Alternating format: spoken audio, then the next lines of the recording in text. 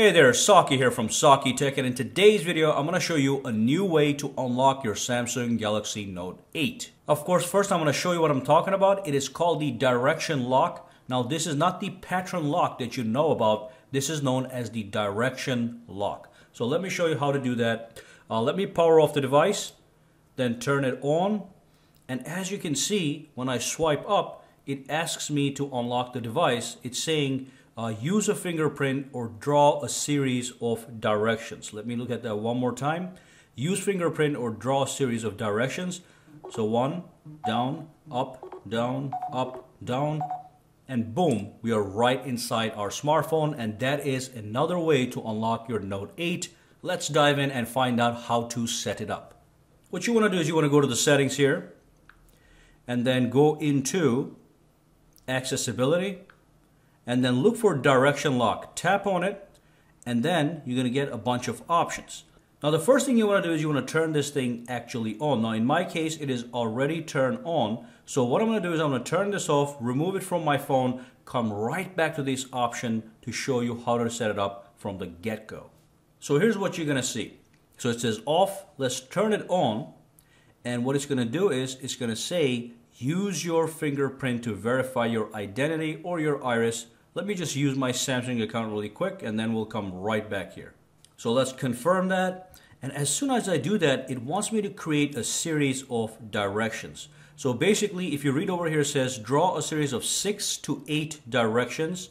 Remember this direction lock, it will be required to unlock your phone after restarting. Now just remember, when you activate the direction lock, it replaces your pin lock. So you can either use pin or direction lock as your absolute backup. So let's uh, create a direction. Let's just do the same thing. Up, down, up, down, up, and down. Okay, and you can do six or you can do eight. As a matter of fact, let's just add two more and make it eight directions.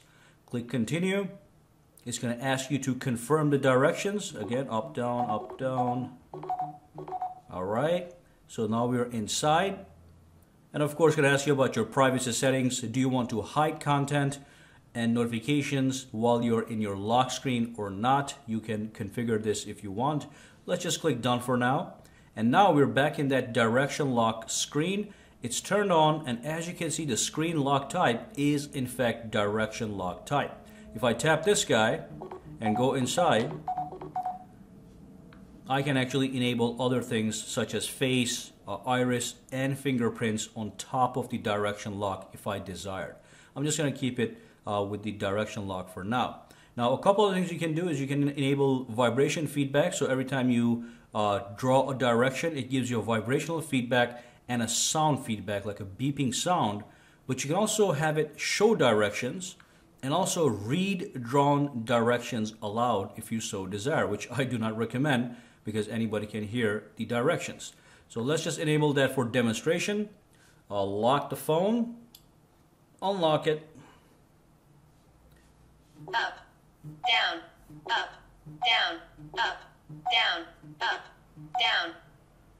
So as you can see, as I was draw drawing the directions, it actually was reading it aloud to me.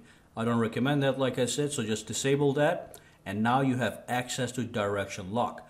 Now when you turn off the direction lock, let's turn this off. Uh, let's do the pattern.